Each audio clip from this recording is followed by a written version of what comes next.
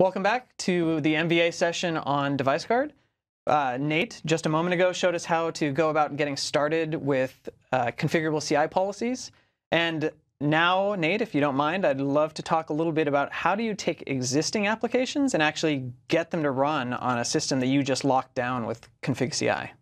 Right. With existing applications, there are really three options here. The first is to do all of your code signing with your own certs. So if, if your enterprise has um, signing certs that they trust, uh, they can do that there. The second option is to actually extend the, uh, the code integrity policy to cover this new application that we now want to run. And the third option, which is what we'll actually demo, is to use Package Inspector to scan this application as it's being installed and then signing that catalog file. So let's go ahead and, and jump into that. So now we're going back to the computer that we used from the first demo that had a code integrity policy and audit mode. It's important to, when running Package Inspector, to use a device that's in audit mode so that we can actually capture the uh, installer and all of the files that are uh, run when an application is being installed. So to demonstrate how this works, um, I will start Package Inspector. And Package Inspector itself is actually a tool that comes part of Windows? Uh, Package Inspector itself, uh, yes, comes with Windows. Fantastic. And while Package Inspector is running, I will copy this installer um, for 7-zip to the desktop and then install 7-zip. And now, why did you copy it to the desktop? Uh, we so Package Inspector actually needs to capture the files that the installer writes to the system. So because of that, we need the installer on the system itself. So in order to in include the installer as part of the trusted package, you have to write it to the disk as well. Correct. Awesome. It has to be written onto the disk. Uh, so that is this installer right here for 7-zip. I will go ahead and allow. And again, this is running in audit mode. I will go ahead and hit install. And again, while this is installing, Package Inspector is tracking and capturing all of the files that are being written. Now that installation is complete, I will actually go ahead and open 7-zip. And you're doing this because some applications download files after they've been installed and on first launch. Is that uh, is that correct? That's correct. On first launch, some applications will download additional files. So this way, Package Inspector can also capture those files. Outstanding. Now that 7-zip is running, uh, we can go ahead and stop Package Inspector, confident that we've captured what we need to for the purposes of our catalog. Here is the stop scan command.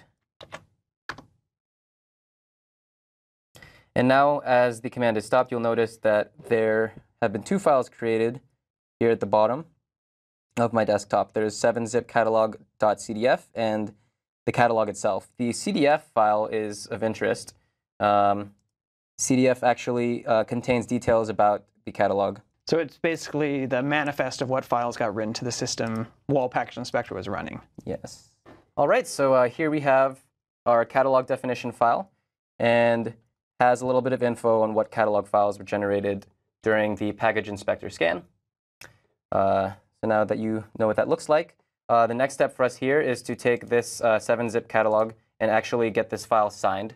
We can do that by going into the Device Guard signing portal. So I'll show you guys that process right now. Up here, we're back in the Windows Store for Business. We're already logged in. And the first uh, option here is to upload and sign catalog and policy files for use with Device Guard, which is exactly what we were looking for. Uh, navigate to our 7-zip catalog file. Right here, 7-zip catalog. And this is now being uploaded. I will now click sign. And once signing is complete, I can download the signed catalog file. Here we go. You can also view um, the signature to confirm that it actually has been signed.